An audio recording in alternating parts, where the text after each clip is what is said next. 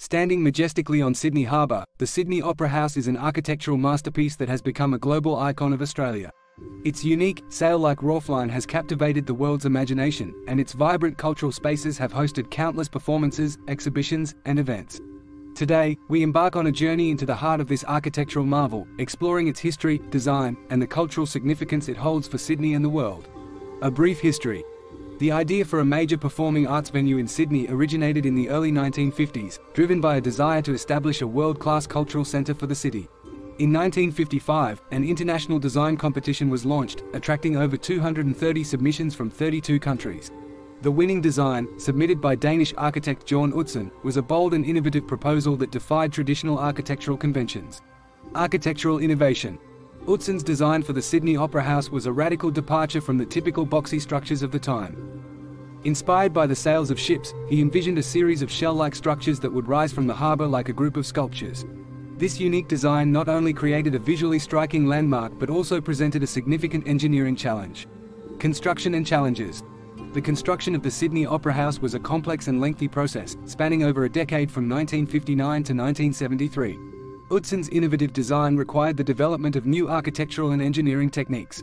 The construction of the roof, in particular, was a major undertaking, requiring the creation of prefabricated concrete panels that were carefully assembled to form the distinctive sail-like structures. Cultural significance. Since its opening in 1973, the Sydney Opera House has become a cultural powerhouse, hosting a diverse range of performances, exhibitions, and events. It is home to five world-class performance venues, the Concert Hall, the Joan Sutherland Theatre, the Drama Theatre, the Playhouse, and the Studio. These venues have hosted countless productions, from operas and ballets to plays, concerts, and film screenings. Beyond performances. The Sydney Opera House is more than just a performing arts venue, it is a hub for creative expression and cultural exchange. It hosts a variety of exhibitions, educational programs, and community events.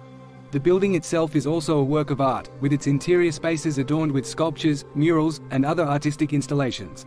A global icon. The Sydney Opera House has become a global icon, recognised around the world as a symbol of Australia's creativity and cultural vibrancy. Its image graces postcards, souvenirs, and travel brochures, and it has been featured in countless films, television shows, and commercials. The Sydney Opera House stands as a testament to human ingenuity and the power of architecture to inspire and uplift.